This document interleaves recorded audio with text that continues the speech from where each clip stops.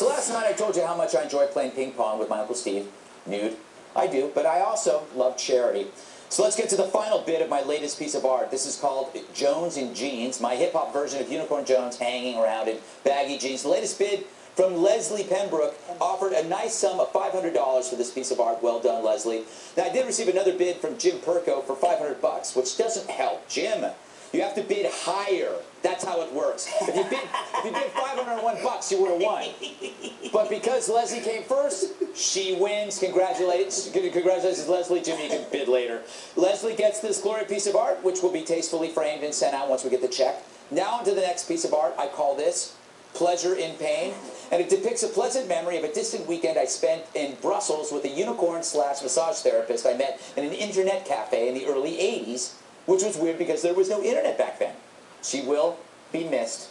Email your bid to this amazing picture that I did myself to redeye at foxnews.com to be considered. The bid's closed by Friday next week. And as you know, all the money goes to the Wounded Warriors Project. And remember, let's not forget the real message here. It's not just about charity. It's about me impressing the local pharmacist with my boundless compassion. Mail.